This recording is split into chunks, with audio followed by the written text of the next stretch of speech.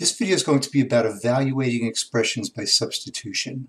And all that means is this. You may be given an expression like 3x plus 5, and you're told to evaluate it when x equals 2. So all we do is, everywhere where we see an x, in this case there's only one x, we plug in what x equals, which is 2. So instead of writing 3 times x, we're going to write 3 times 2 plus 5. And then we'll just evaluate this using the rules that we have for the order of operations. So 3 times 2 is 6.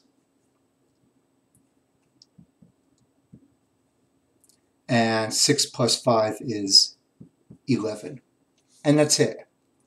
Now there are some cases where you have to be a little more careful. For instance, let's say you're given this thing, 2 minus 3a, that's your expression, and you're evaluating it when a equals negative 4. So watch out for negatives. Let's substitute the negative 4 for the a. So I get 2 minus 3 times negative 4. I want to do my multiplication before I do the subtraction. So I've got this negative 3 times negative 4. Negative times a negative is a positive. So that means I'm going to get 2 plus 12. And 2 plus 12 will be 14. Here's a few more.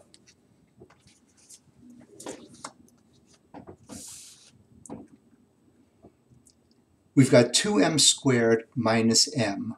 And once again, we've got a negative. m equals negative 4. So let's see what happens. Here's my 2. I want to substitute negative 4 for m. Now, when you substitute with a negative number, sometimes it's a good idea to put parentheses around the whole thing. In other words, I'm going to write negative 4, and then my squared sign, and then minus another parentheses, negative 4. And let's evaluate this. So negative 4 times negative 4, in other words, negative 4 squared, is going to be a positive. It's going to be 16. 2 times 16, actually let's do this in steps. So this will be 2 times 16. Then I've got minus negative 4. Well, minus a negative is like negative times negative, and that's going to be a positive. So these two negative signs will combine to make a positive 4. Now we can multiply the 2 times the 16.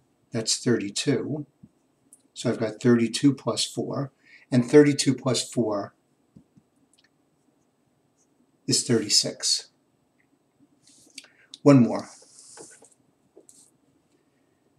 Here I've got a fraction, two fractions, xy over 3 plus x over y. And I'm, evaluating this when x equals 6 and y equals 2. So let's see what happens. I'll plug in over here a 6 instead of the x. And instead of the y, I've got a 2. That's over 3. And then once again, instead of the x, I've got a 6 over y equals 2. And now I've just got to simplify my fractions. So let's see what happens.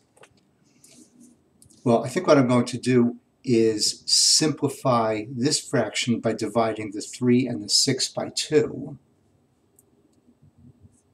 I'm sorry, dividing them by 3. So 6 divided by 3 is 2, and 3 divided by 3 is just 1. And now I can go ahead and multiply 2 times 2. So that's just going to give me a 2. And then simplifying 6 over 2, well, 6 divided by 2 is 3. So I've got 2 plus 3. 2 plus 3 is 5. So that's going to be my uh, evaluation for this expression when x equals 6 and y equals 2. That's about all there is to it. Obviously, these things can get more and more complicated. We can have bigger and bigger and longer and longer expressions. But the main idea is that whatever you are told your variables equal, like x equals 6 or y equals 2, you plug those numbers in where the variables are. Be careful for variables that equal a negative number. And then you follow your rules of your order of operations and you figure out what everything comes out to. You find out what it equals. So that's it for now. Take care. I'll see you next time.